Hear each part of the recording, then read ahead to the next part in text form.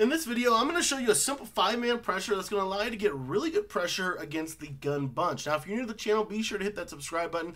Also wanted to let you know that in this video, we're going to be talking about the Nickel 335 odd. Now, the Nickel 335 odd can be found in a lot of playbooks, but the playbook we're going to be talking about and focusing on in this video is the Baltimore Ravens defensive playbook.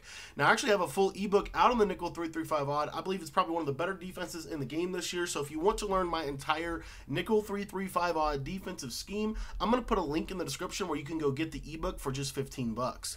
Now, guys, the play we're going to be talking about today is probably my favorite play in the game, and that is LB Cross 3 Show 2. I love this concept, uh, this crossfire, blitzing angles, and just kind of manipulates the line a lot. So, uh, what we're going to do with this is we're going to come out, we're going to baseline, we're going to press, and then we're going to spread our defensive line. We're going to crash our defensive line down.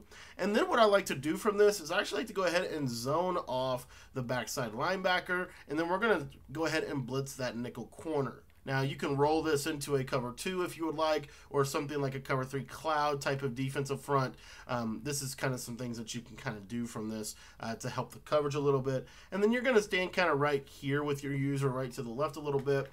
And at the snap of the ball, what you're going to see is we're going to get pressure through the A gap oftentimes and through the edge uh, for the most part. Now, what I like about this five man pressure is it is very, very safe. Um, you're going to have, like I said, you got great coverage on this play if you wanted to. Um, this is actually a fairly decent concept, in my opinion, against Gun Bunch to do something uh, kind of like this uh, at this point in the season just because of the route combos that a lot of people are using. This is a great little concept. And like I said, the pressure comes in really well. Like I said, you're oftentimes going to get A gap or edge pressure. Um, you're going to get some kind of pressure coming through.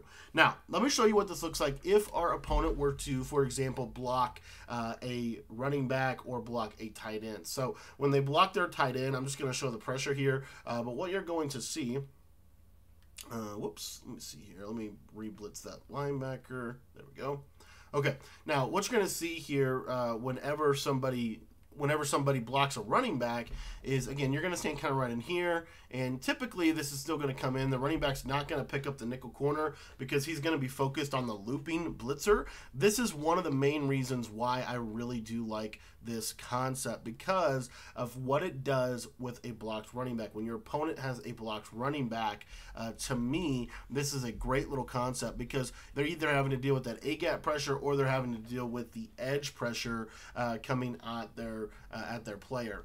Now, another way that you can run this similar concept is simply go ahead and uh, take, you would use or now this guy, Dugger, and then we're going to go ahead and run the same concept on the backside. So it looks something like this, essentially. Uh, and what you would see here is at the snap of the ball, you see we're going to get some gap pressure coming in pretty hot at the quarterback. So the beauty of the LB Cross 3 is there's so many different ways that you can set up the pressure concept.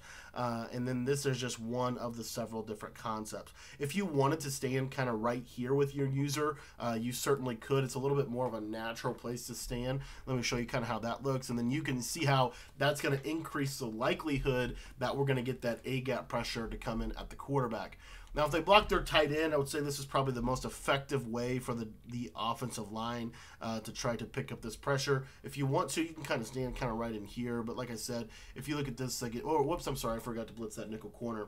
Um, but typically what's gonna you're gonna see here is a lot of times what this will do is it'll actually open up some of the a gap concepts uh, for us. So again you can kind of stand like kind of split the difference between the tackle uh, and the guard and then we're gonna block the tight end here. And what you're gonna see is we still get that edge pressure. So that's one of the main reasons why I really like this blitz is because a lot of the ways that people are going to try to pick this up there's still going to be a lot of opportunity uh, for this to come completely free. And again, oftentimes you're going to get that nice edge rush. Like I and I'm telling you right now, that five man is just very difficult to pick up this year. And then as long as you can adjust your coverage out of it, you can have a very very good defense. So uh, I want to thank you for watching this video. If you want to learn more about the nickel three three five odd defense, be sure to join my Patreon. By joining the Patreon membership, you're going to get access to every ebook all year long, uh, and it's only ten bucks a month. And soon as you get it, you get immediate access to all the ebooks. Uh, we've got 12 ebooks right now. I'm working on a couple uh, behind the scenes. So be sure to join the Patreon today. There's a link in the description below. You can join today for just 10 bucks.